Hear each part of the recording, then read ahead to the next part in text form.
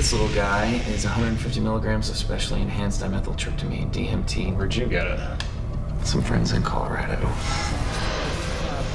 Thousands of government-sponsored experiments did take place. Aren't you worried about the dangers of taking it? This little chemistry experiment goes sideways. I want you to finish my book and dedicate it to me.